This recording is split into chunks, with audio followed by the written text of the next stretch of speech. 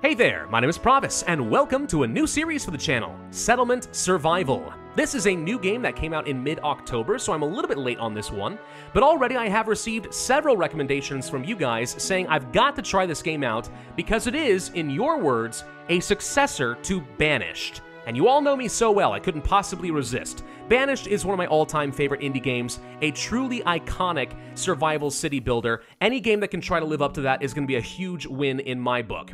So I got the game, tried out the tutorials, set up a new game just to see what's going on, and yeah, sure enough, this game is heavily inspired by Banished, but it is so much more. There is a staggering amount of content in this game. It should be a lot of fun, if not a little overwhelming at times, and I am very happy to jump into a new game. So let's go ahead and do that now. Now, we're going to be playing with standard mode, of course. There is also sandbox mode, where all technology is automatically researched, and Easter Island, which is a challenging uh, scenario where wood grows extremely slowly. Not going to bother with that today, and it looks like three new scenarios will be added into the game at some point in the future. But for us, I think standard mode will do fine. We'll play on a large map at a normal difficulty. I will allow for disasters, and that should be good enough. Let's go ahead and get started. Okay, here we are. Now, first off, the map is pretty large and generous. There is going to be a lot of room for us to grow. But the first thing we have to do is choose our initial development location. There's a few things I'm looking for here. First off, being close to water is generally going to be a good thing for me. Gives access to some trade as well as to uh, some good fishing locations, which are represented down over here. I'd also like to be close-ish to a mountain, because that means we'll be able to set up some mines. And then there's other icons worth looking for. For example, really good pasture locations, better farming locations, new seeds we'll be able to gather for different types of crops, and so on. We want to be close to a bunch of these things, so I'm thinking we might set up kind of right over in this general vicinity. It's close to where the fish is going to be located, it's next to a mountain, and it's got a good fertile area for extra food from our first farms. So I think we'll set up right over here. And here we go. Now, we do start off with a few different buildings. One's a simple storage shed, the other is a builder's cabin, where we will be able to assign people to work as builders. In fact, I can go ahead and assign another job right now, so we have four builders, and they'll go around constructing everything for me. Then we have the marketplace, which kind of functions like a town center in this game. Houses have to be built within range of the marketplace, and the people who work over here will gather up resources from storage yards, bring them to one central location, so that people will be able to get what they need nice and quick. So the marketplace is really going to be key for us. The first thing we probably want to do is set up some houses. So we're going to go ahead and do that right now. Where do I want to set up some houses? Great question. How about close to the marketplace? Uh, we could set up kind of like this.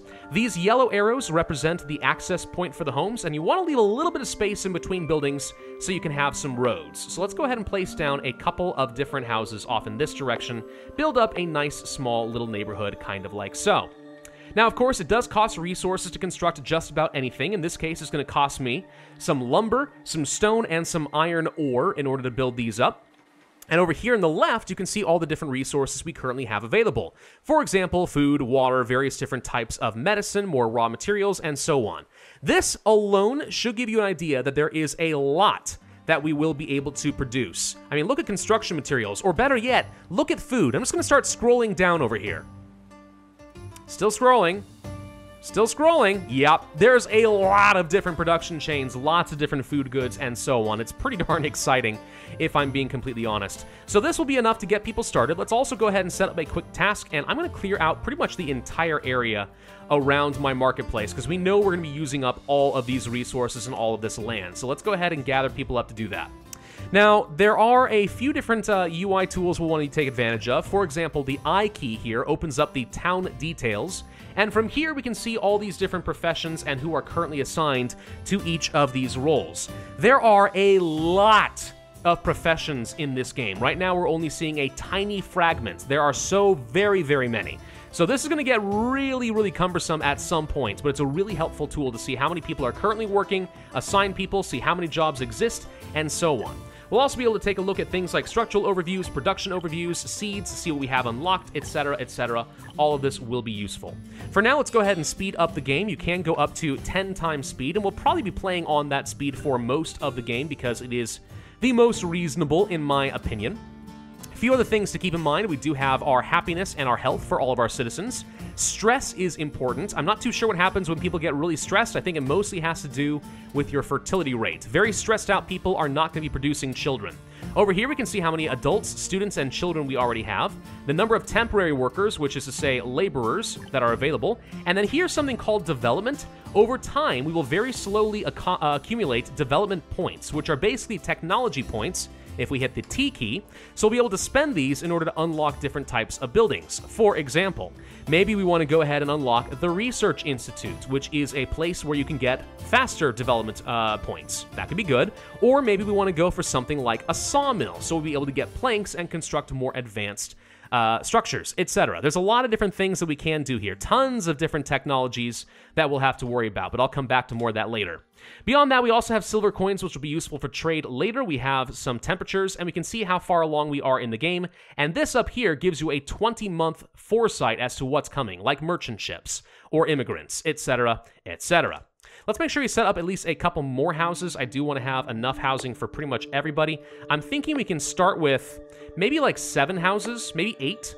But after that, we might want to consider getting a boarding house which does not allow people to have children, but provides a lot of residences for people. A good way to control your population if necessary. Also, really good if you have lots of immigration coming in and you're not too sure what to do with it. So, we may want to place one of these down at some point in the near future. Let's also go ahead and set up a couple of quick little roads so that people will be able to get around nice and quick because obviously, the faster people can move around to their different respective jobs, the better things are going to be.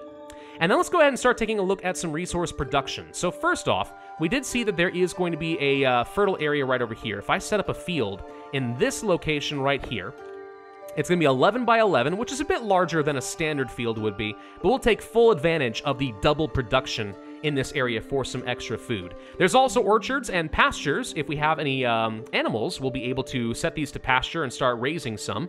In fact, do we actually have any to start?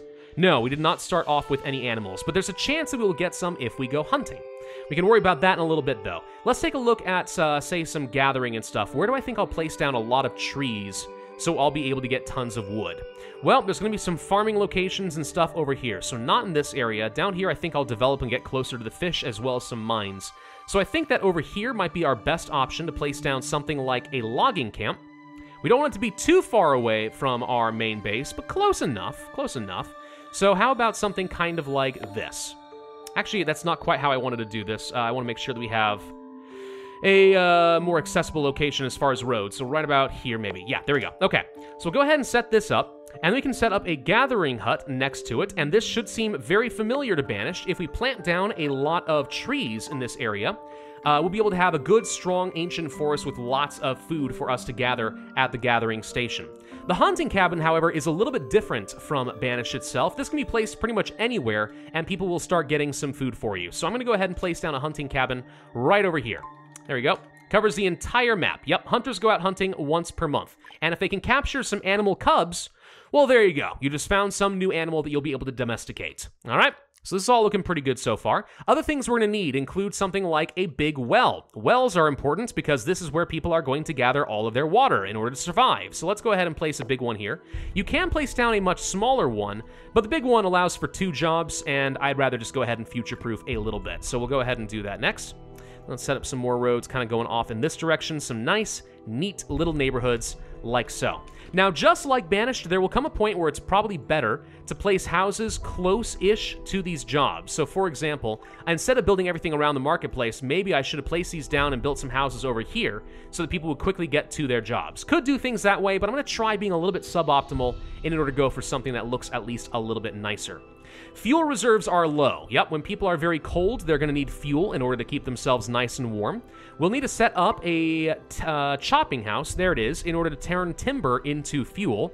Or alternatively, if we were to spend some of our research on, let's say, the sawmill, we would be able to get some... Um, some fuel from here. Yeah, here it is. More efficient at making domestic fuel than a chopping house. So, I mean, yeah, if we're to do that, this might be the way to go. I've got three development points right now. Let's go ahead and buy out the sawmill as one technology.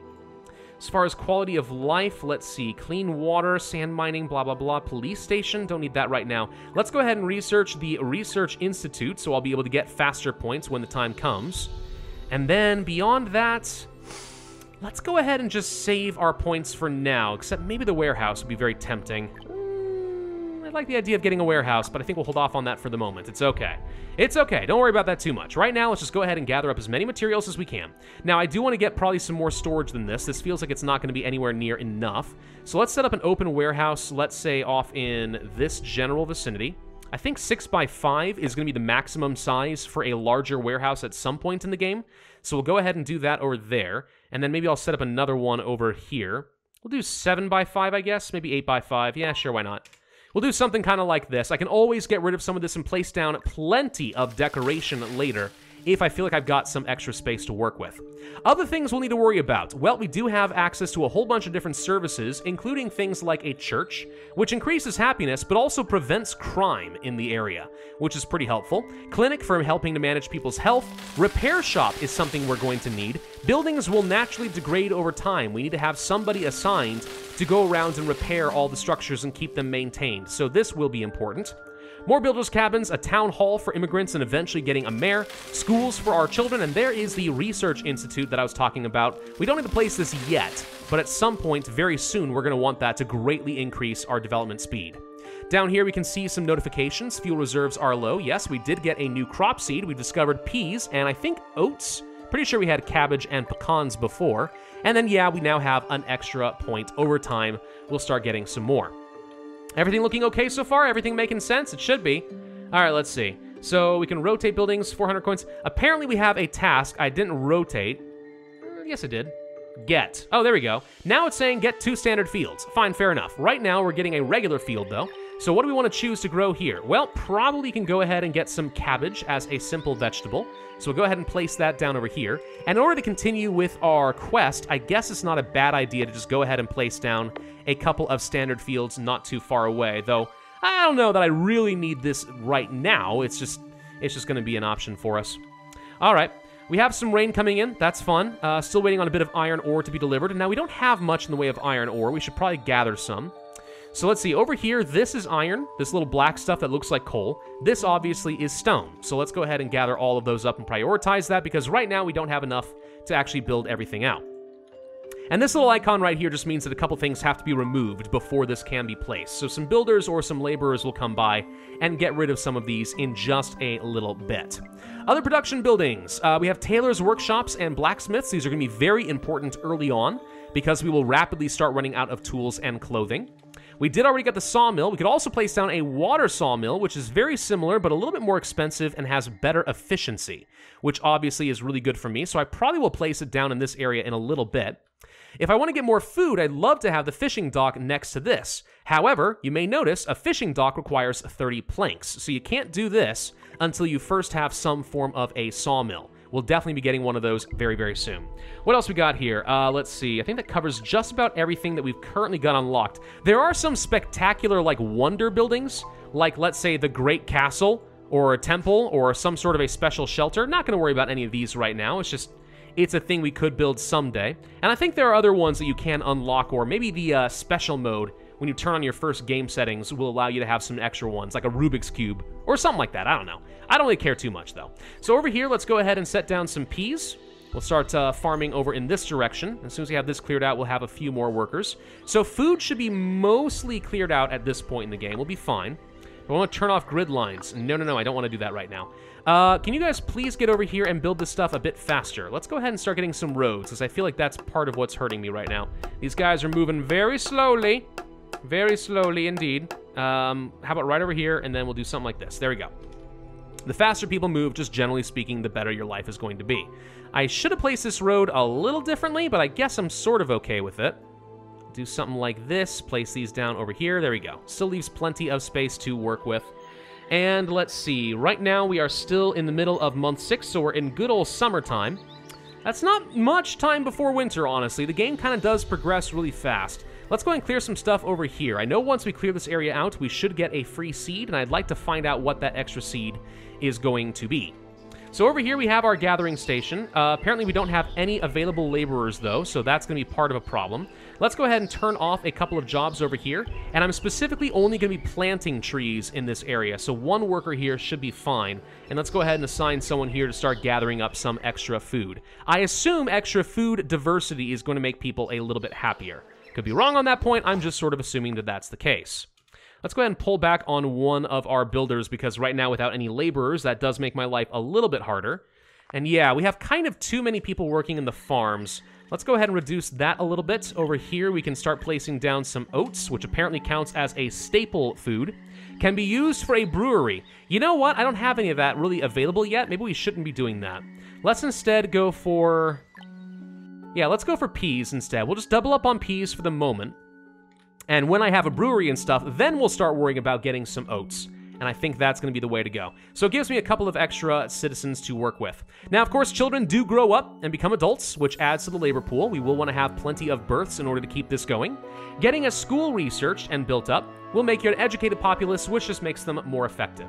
Let's go ahead and get another 700 coins for finishing up this mission. Now it says to close a field. I guess we'll go ahead and close this like so in order to go ahead and clear this out, get 400 coins, and we've already built a big well, and we've already built a logging house, and we've already built a gathering station and a hunting cabin. The only thing I'm missing now is a chopping house. All right, I'm gonna go ahead and turn this back on and let people get to work.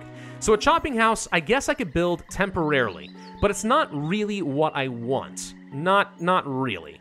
Let's go ahead and, actually, you know what I wanna do? I wanna place down another, I wanna place down another logging camp, but this one actually will be intended for the purpose of getting me some extra wood. So yeah, let's go ahead and place you over here. And I guess it's okay to place a chopping house nearby, and then probably another storage yard nearby so we'll be able to quickly place some wood as well as some fuel. So 6x5 over here will do just fine, thank you. Don't have a lot of workers to work with though, that's the only real problem. I'd love to place down a whole load more jobs, but not sure that's going to be great. Let's pull back a little bit on the peas. One less farmer each. I'll go ahead and try to go as much as I can, but yeah, this is going to be providing me a ton of food by the end of this. A new crop uh, seed has been discovered. We now have access to flax. Well, that could be very useful at some point. Absolutely. We might use that to try and get some sort of a clothing material or other form of textile. We also have some extra development points. Okay, what else would we like to get? Well, wouldn't be a bad idea to get school expansions. Grocery stores, don't need that yet. Um, stone pit, blah, blah, blah. There's so much we're going to need to get in this game. So very much.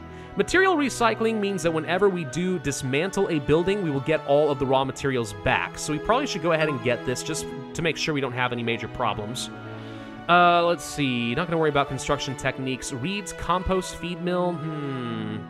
Processing, not going to worry about that yet either. Let's go ahead and unlock the regular warehouse, just so I have something that's a little bit better than, you know, a simple open uh, storage area, though we will be able to place down something a little bit better using some stone. Baskets? Workshops can make baskets. Huh, knitting workshops. Interesting. Carrying capacity. Gosh, there's so much we can do here. Small marketplaces? Eh, I'm not going to worry about that right now. Let's just keep moving forward. We can build a ferry, and a ferry is where the merchants will come by in order to trade things. We have 3,100 silver coins right now, which is what you use in order to uh, buy something from the merchant. And one is on its way in a few seasons, uh, but we're not going to worry about that yet. Time for the autumn harvest. We are well on top of that. I do think these peas are going nowhere. No one has been growing anything over here, so let's just go ahead and turn that off for the moment. And I'll go ahead and attach someone else to this pea farm just to make sure that we do harvest this nice and quick. I'm actually wondering if we want to go ahead and get another farmer over here the cabbage. I have no idea if there's enough time to harvest all this. I'm kind of assuming that there is. But what if there's not? Oh gosh, then I would feel like a fool. Now, in these storage yards, you can control what is being placed here. So, for example, we can say we don't want any food or water. Now, I mean, that, I don't know if I necessarily want to do that, but we could. Let's say we don't want water stored here. Why would water be stored over here? That doesn't make any sense. Let's go ahead and get rid of that. What about things like ore? No reason to have ore over here. What about clothing or trading goods? Don't need any of that. Industrial fuels? No. Right, so we'll go ahead and start clearing a lot of that out and bring it closer to the center of town where it will be more useful. Now, I did just see that someone has been injured, so a clinic is something we would probably like to get sometime soon, maybe right now. Uh, can't quite fit you here, but I could. No, I can't fit you here either. Darn it. Um, all right. Well, let me think for a second. Let's let's try to plan out a little bit. If I place down, let's say, a church over here, it's a pretty good spot, but I can pause it so we don't have to build it right now. Followed up by a clinic probably right behind it. This should be able to take care of most people. Although, where do I think most of my housing is going to go? Nah, this seems like a reasonable enough location. Yeah, let's go ahead and place this right over here. Okay, so we'll have a clinic, and I'm going to go ahead and start building this now because I think having a doctor makes a lot of sense. A cemetery is something we are probably going to need. Uh, we'll place it, like, over here, I guess? Sure, but not a high priority because it takes a lot of wood and a lot of stone, and no one's dead yet, and I'm hoping no one's going to die anytime soon. A research lab would be very tempting to me because I'd love to start getting some extra development points going early rather than later. So let's go ahead and place that down over here, but I'll pause that for the moment. And then we can start planning out things like a boarding house. Now, this is obviously a very large structure, right? Uh, we can place you probably over here. Once again, I'm going to go ahead and pause that for the moment. And then we don't have anyone who's homeless, I don't think. So how do we want to do this? I guess we place a couple of houses off in this direction. Let's just say one for now. Um, I don't see any evidence that anyone is homeless, so we can ignore this for the moment here too. So what's going on over here in the chopping house? Ah, okay, so people are now working over here. We need to choose a recipe, and specifically I want to turn timber into domestic fuel. Although if we had lots of pastures, we could turn dried animal dung into fuel as well. But for right now, no, makes a lot more sense to go ahead and work on that with the chopping house. In this warehouse here, I don't want any food, or water, medicine to be stored over here. Uh, no ore, clothing, traded goods. We'll allow for fuels and lumber to be dropped off over here, and that's kind of it. All right. Now, unfortunately, the uh, marketplace, I think, is a little bit too far away from this, so I'm wondering if this actually was a bad idea. Does this mean that people aren't going to be able to wander over here and gather stuff? I'm not sure that's quite how it works. Maybe it is. We are in uh, mid-autumn, so pretty soon it's to be getting very cold over here. In fact, it's already 28 degrees Fahrenheit, which is below freezing. So yeah, all the more reason that we really, really need to get some fuel going pretty darn soon here. Uh, let's see, fuel, we can see here that there is no fuel, so yeah, the sooner we can produce this, probably the better. By the way, if you are looking to simplify your UI and you wanted to track, let's say, one specific resource, for example, potatoes, you could click this button right here, and instead of showing all of your raw food, it just shows the potatoes. That's kind of cool, right? Or we could just go ahead and say all rough food like that. Cool, right? Chopping house, we have. Houses in total, we've got. Repair shop, that is something that we do need to build, and I almost forgot about that, thank you, game. Let's go to services and place down this repair shop. And actually, I guess we can go ahead and get rid of this house over here. This repair shop would make a lot of sense in this location. So we'll go ahead and do something like this. There we go. So go ahead and build up the clinic first. I do want to take care of the broken bones. This person apparently is suffering right now. Ankles are sprained, so we have slow movement. Yeah, we'll fix that soon enough. But once again, I'm having some issues as far as some uh, workers. Let's go ahead and pull back a little bit. Um, probably just turn off both of these pea fields for now. And we'll pull back on you and get a few extra workers freed up. There we go. All right, so someone should automatically go and work at the clinic, which is what's happening right now. So someone will be getting treated. Very good. Very good. Uh, we can see how much uh, fuel has been produced. Right now, we have produced 20 so far. It does give you some idea of what you produced last year to get an idea if you are more effect- um, efficient this year or less efficient, etc., etc. So let's see. We are now building up the repair shop. This will make sure we keep all of our buildings maintained.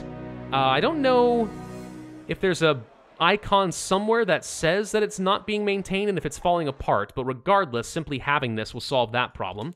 So there we go, we have the repair shop. A church is the next thing that the game is recommending. We'll take a lot of timber, we'll take a lot of stone and so on, but all right, let's go ahead and start constructing that now. I will probably want to clear out some additional resources. So maybe out over this way, for example, clear out some of the extra stone and stuff. Sure.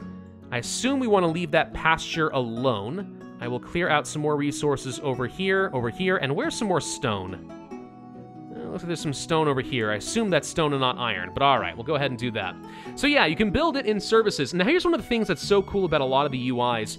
Like, it, it doesn't just tell you build a church. It tells you where you can find it, exactly what it does, why that sort of thing is useful. That's also going to be really useful when we go to things like, let's say, technology. Clean water, here's what it does. Unlocks the reservoir, here's what the reservoir is, here's how much it's going to cost. Like, the UI is just brilliant in this game.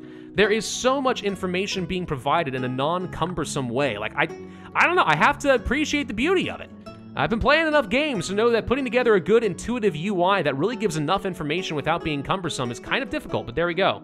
What's wrong with you? You have no place to work. Uh, right, because the farms are off. Tell you what, turn these off, there we go.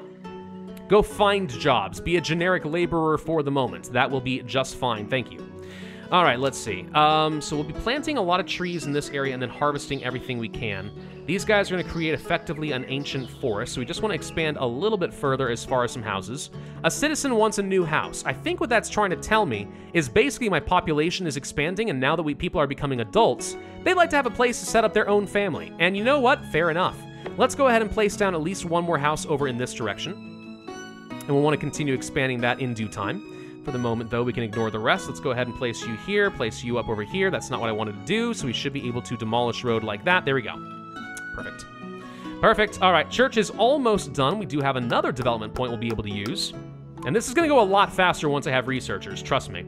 So somebody is going to work in the church as a cleric. Okay, fair enough. Let's go ahead and place out some more roads like this. Get our coins. There we go. Build a clinic. Done. A distillery. Now, this is something I don't think that I need right now. A distillery is going to create spirits using either potatoes or agave tequila. Do I have either of those? I don't believe that I do. Nope. So we could place down as a distillery, but it's kind of useless to me, so I'm not sure why I would want to do that. Uh, but you know what? Aside from the fact that it says to, um, we should probably go ahead and set up a ferry because it would be nice to be able to start trading away some of our excess goods if we have any.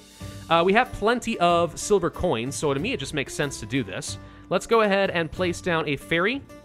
I'll pause it for the moment, though. Let's also place down a water sawmill. This is something we said we wanted to get. I didn't need it right away because I already was getting a chopping house, but now we might as well. So sure, let's go ahead and place you here. And once we have some planks going, we'll be able to get some more food sources by placing down the fishing dock. Though right now it looks like our food is mostly doing all right. Let's go ahead and turn back on the fields. I think this cabbage alone will be okay, plus the gathering hut, plus the hunter's hut. We should be fine on food for at least a bit. Why are people here not getting sufficiently treated? There's so many injuries. You're all spraining your ankles. Come on. Be careful. Gosh dang. In these day and age, if you twist your ankle at the wrong time, you die. That's this is how it works. Come on. Eh, whatever. Anyway. Uh, yeah, plenty of food being brought up over here. We do have some agave tequila. All right, fair enough. We are actually discovering agave tequila with our gatherers. Maybe we could go ahead and place down a distillery. Hmm, still don't think it's a very good investment, but I mean, all right. Sure, I suppose. We'll place you probably right up over here. I like to keep a lot of my production buildings close to some of the local storage because I know that I want to make sure people have access to their goods right away. We could place down one of these larger uh, warehouses I was talking about, by the way. It does fit right over here. Um, we'll worry about that later when I'm getting a little bit closer on some of my storage capacity, but yeah, at some point we can go ahead and get rid of the open storage in favor of that. So we're planting down a whole load of cabbage, looking good. We are almost done building up our water sawmill. Just need to have a few builders working over here. I'm going to go ahead and say that this is a priority because I want people to work over here fast. And we only have one job left over. That's the problem with this. We still are not growing our population quite fast enough. One reason to keep the stress manageable, right? So that people can have plenty of babies and we just have to wait for a few seasons and get them to grow up. Because obviously in this game, people grow at uh, ridiculous superhuman rates. I don't know how long it takes exactly. It's like a year or something like that. All right, so here's our water sawmill. Now, the water sawmill is useless to me until we first choose a recipe. And once again, you see fuel. Oh, well, where's the planks? Here they are, building materials. Click on this, timber, planks, done deal. All right, so now someone will be able to make use of this. We'll get some planks. With some planks taken care of, let's go ahead and place down a fishing dock, and I'll place it right next uh, nearby. Uh, water area. Obviously, you want to have as much water area as possible. 55% over here, but I want to keep it in range of these fish. Believe it or not, kind of close to the sawmill is actually going to be the best bet for me. All right. We'll go ahead and place it right over there then. That seems fine. And this will be worth a lot of food for me. All right, very good. We're making some solid progress already. We have access to several services. We've expanded pretty aggressively already. But I think we're going to end this video here. Like I said, this is going to end up being a series for us. Let's go ahead and set this to agave, by the way. This is going to be a series, so I plan on continuing with this for a while. And as far as a name, why don't we go ahead and call it Darby Hill Montashire? Why not? I Haven't used that in this game yet, because obviously I haven't played it yet, and it is going to be a classic one for us. So, welcome to Darby Hill Montashire. Let's see how well we can develop this new city. Thank you all for watching. I hope you enjoyed and you're looking forward to this series. If so, I would humbly ask that you hit that like button, leave a comment, subscribe, hit that notify bell, and I will see you guys next time.